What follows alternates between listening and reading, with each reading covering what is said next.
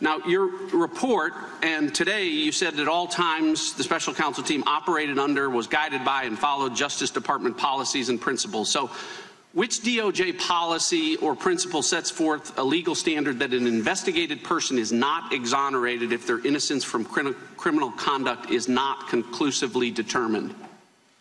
Can you repeat the last part of that question? Yeah.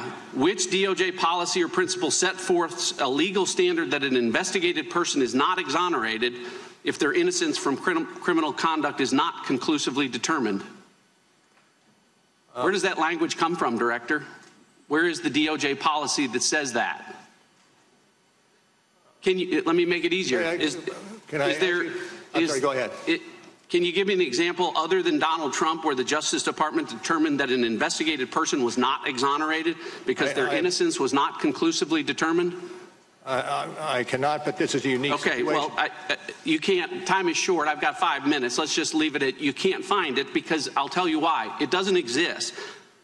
The special counsel's job, nowhere does it say that you were to conclusively determine Donald Trump's innocence or that the special counsel report should determine whether or not to exonerate him. It's not in any of the documents. It's not in your appointment order. It's not in the special counsel regulations. It's not in the OLC opinions. It's not in the Justice Manual. And it's not in the principles of federal prosecution. Nowhere do those words appear together because respectfully, respectfully, Director, it was not the special counsel's job to conclusively determine Donald Trump's innocence or to exonerate him because the bedrock principle of our justice system is a presumption of innocence. It exists for everyone. Everyone is entitled to it, including sitting presidents.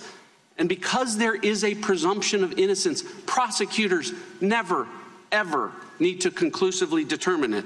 Now, Director, the special counsel applied this inverted burden of proof that I can't find and you said doesn't exist anywhere in the department policies, and you used it to write a report. And the very first line of your report, the very first line of your report says, and you, as you read this morning, it authorizes the special counsel to provide the attorney general with a confidential report explaining the prosecution or declination decisions reached by the special counsel. That's the very first word of your report, right? That's correct.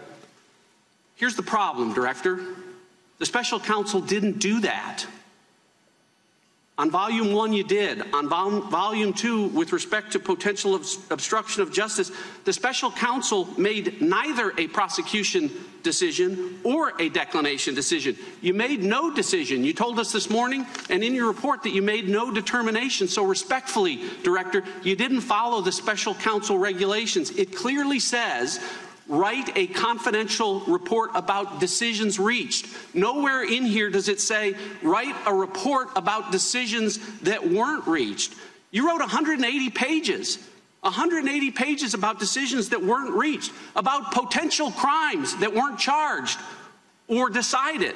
And respectfully, respectfully, by doing that, you managed to violate every principle and the most sacred of traditions about prosecutors not offering extra prosecutorial analysis about potential crimes that aren't charged. So Americans need to know this as they listen to the Democrats and socialists on the other side of the aisle, as they do dramatic readings from this report, that volume two of this report was not authorized under the law to be written. It was written to a legal standard that does not exist at the Justice Department. And it was written in violation of every DOJ principle about extra prosecutorial commentary. I agree with the chairman this morning when he said Donald Trump is not above the law. He's not. But he damn sure shouldn't be below the law, which is where volume two of this report puts him.